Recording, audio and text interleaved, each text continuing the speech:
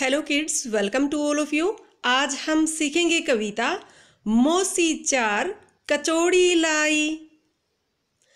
मोसी चार कचौड़ी लाई, फिर लौकी की खीर बनाई। मम्मी झट पकोड़ी लाई, सब बच्चों ने मिलकर खाई। बच्चों ये औ की मात्रा की कविता है। आप इसका स्क्रीनशॉट लेकर के औ की मात्रा को इस प्रकार से सर्कल करें। Thanks for watching